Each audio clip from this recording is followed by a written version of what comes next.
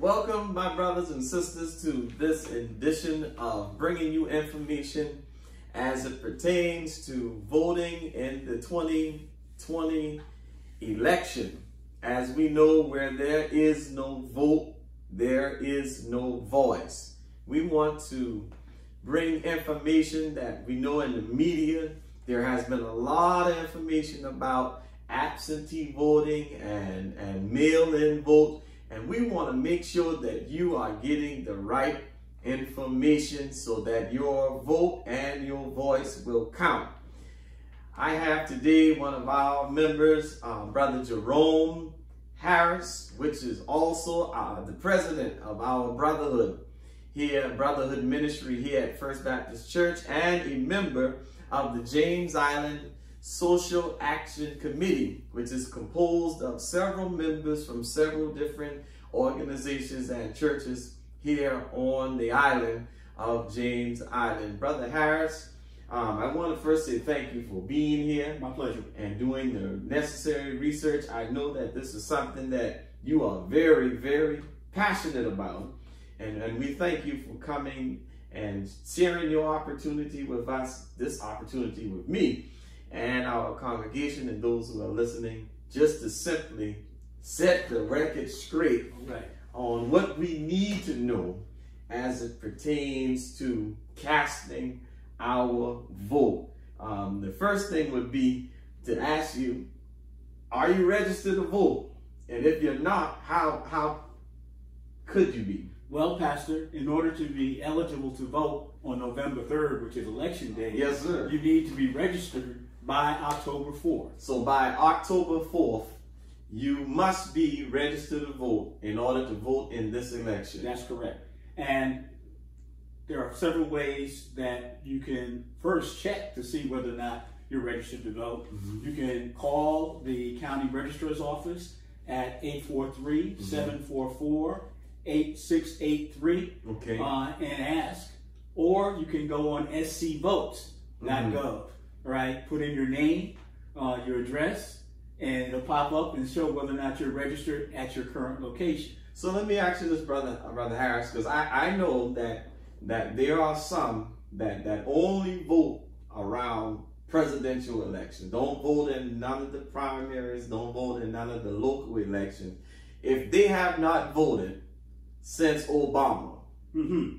how is how is how much important is that? Well, um, if you have not voted, and there are a lot of us who haven't voted since uh, Obama's election, um, the you are on you are one of thirty thousand people. So it's not you, right? Who are on the inactive list? They can't take you off the roll, but you're in an inactive category. Mm-hmm. So if you go in and check, mm-hmm. right, calling that number that I gave, or going online, uh, and you popped up as inactive, right then and there you can be activated. Right then and there. Right then and there. As long as you do it before. As long as you do it before October 4th. October 4th. That's correct. So that person who have not voted since Obama cannot show up to the precinct and say, I want to vote on, on November, in November and they won't. They may be able to vote. They may be allowed to vote mm-hmm. by a, a, a provisional ballot, provisional. but there's no guarantee that that, that vote will be, will counted. counted. If you want to guarantee that your vote is counted, you must register before October 4th, mm-hmm. all right, and cast the ballot on November 3rd or absentee prior to that. Uh, uh prior to that day. Okay, and that's what I wanted to make sure of. Um, the other thing is that, you know, we've been hearing in the news about um, the absentee ballots and, and the mailing it in and mailing and requesting an application and it be mailed to you. Can you give me a little bit more information about how exactly is that does that process work? Okay.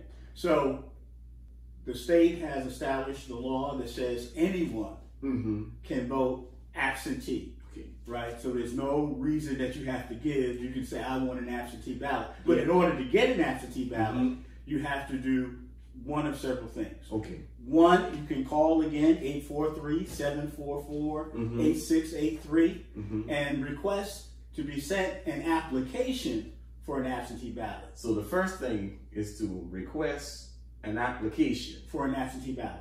So don't think that we're going to call in and ask for them to send an absentee ballot. No, it's an application. You must first get an application, fill it out, and mail it in. And mail it back to the Board of Elections. That's Board correct. of Elections. Using your stamp.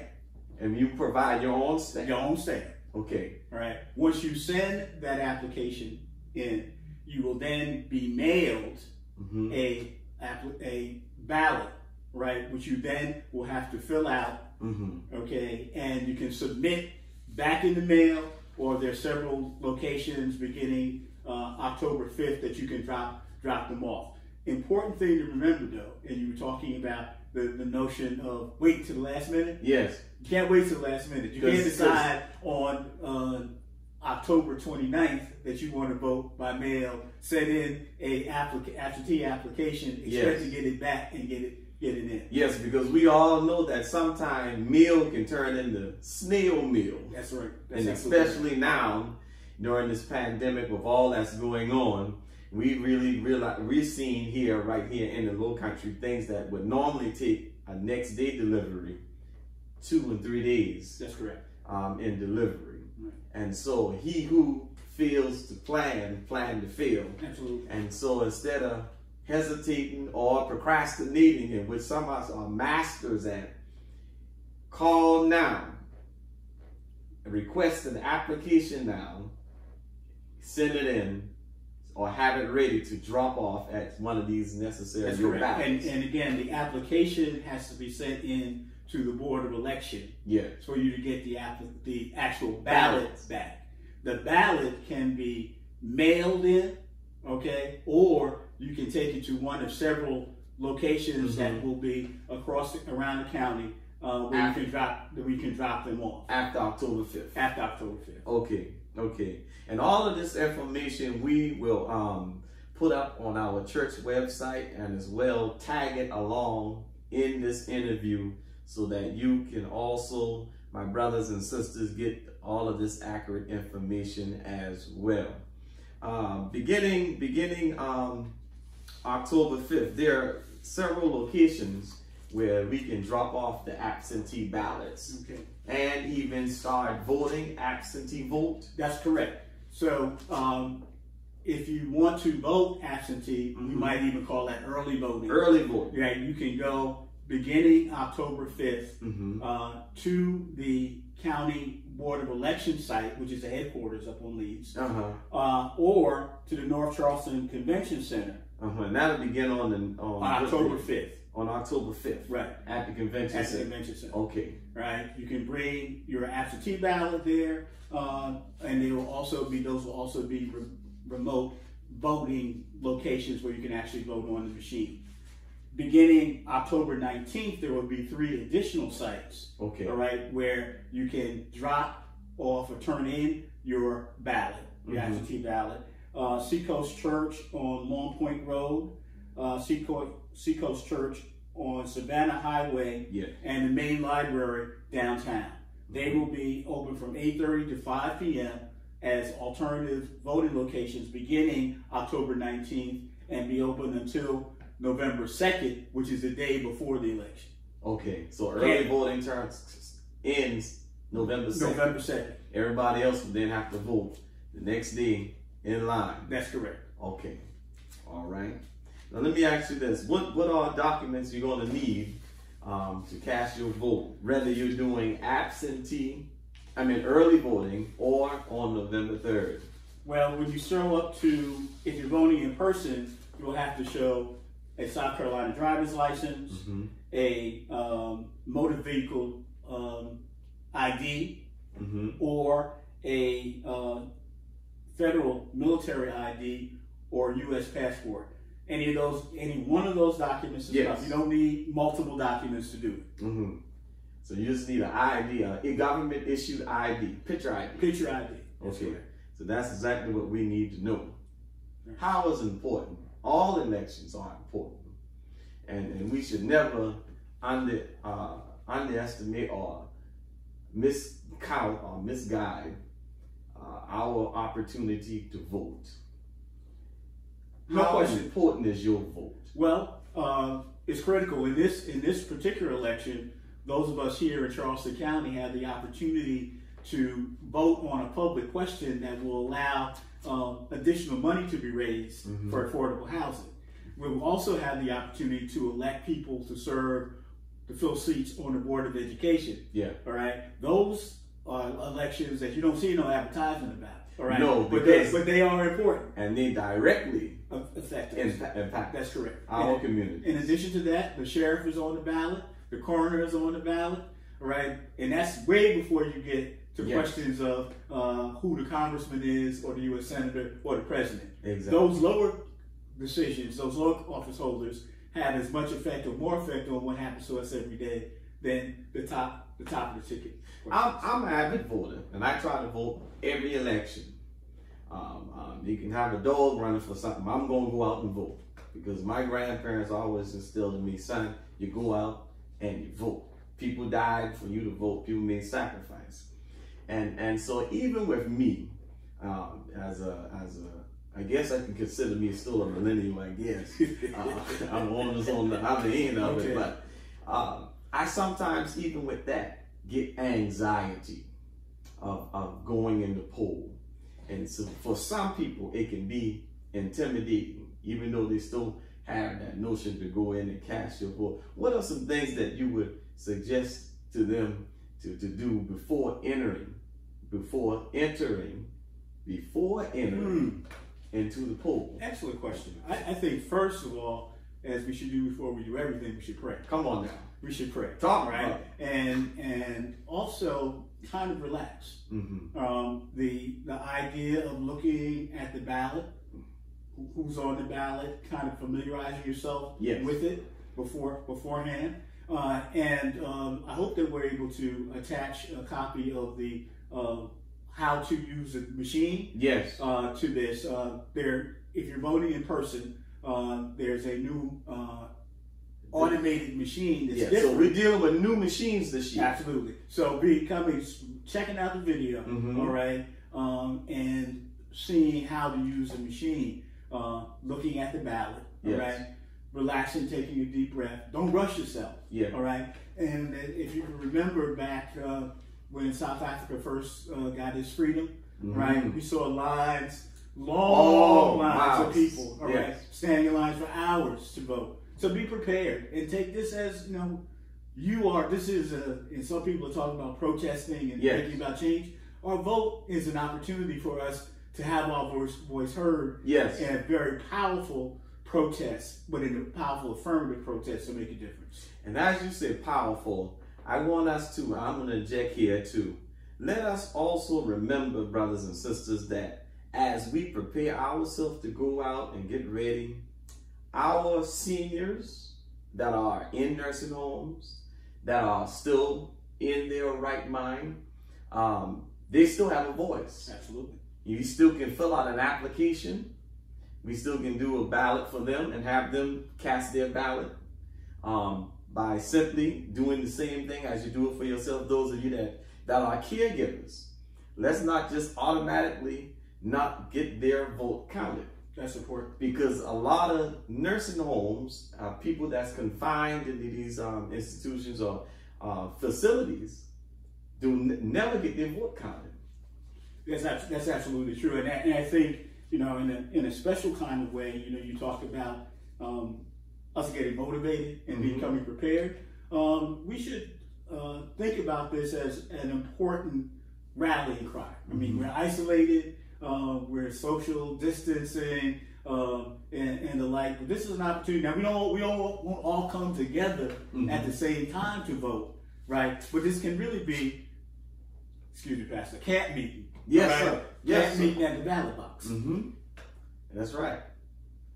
And a, and, a, and a powerful camp meeting to make powerful changes. Yes. Because as we always say, where, where there's much prayer, much power, little prayer, little power, no prayer, no power. And the same thing applies for our right in voting. Absolutely. Where there's much voting, there is much power. Amen. And where there are no shows, others will remain in power. Yes, sir. And so, Brother Harris, I want to thank you again for taking the time, the opportunity to bring us these important information and facts that we need to hear. That, that we are in dire need of hearing. You brought more clarity to me because I was all mixed up and confused about this meal and the, them going back and forth. And, and it was so clear about first requesting an application, then receiving an application ballot, sending it back in, and then being able to cast your vote by mailing it in or dropping it off to one of the designated places. Absolutely. And so, um, any words you want to give the people for encouragement on today? Well- and um, don't worry about all of the numbers and information because what we're going to do, we're going to connect now the a video of those new machines. You want to elaborate on that as we go to a closing? Sure. So the um, both the county and multimedia channel five and two and, and others have put out videos. So it's a very clear video on on how to use the new machine. Yeah. And again, I urge folks to take a look take a look at that. Um, but as as we've been talking, I keep thinking uh, back to uh, uh, Paul's uh, letter uh, to Timothy, where he says, uh, when we talk about being fearful about voting, Yes. uh, where he says God has not given us a spirit of fear, but a spirit of power and love and a sound mind, and that's Yeah. what we should be going into this this voting period thinking about. Amen. Amen. Amen. Thank you again. Um, please watch the video. It's a very short video that we're going to attach. All of us need to take time and watch this video before we cast our ballot. We are dealing with new voting machines this year. And my brothers and sisters, he who failed to plan, plan to fail. Let's not get caught off guard and go on those polls and push the wrong buttons and then be mad with other people when we didn't take our time to do our own due diligence. So let's do this, my brothers and sisters, until we meet again. Thank you, thank you, thank you, and God bless you.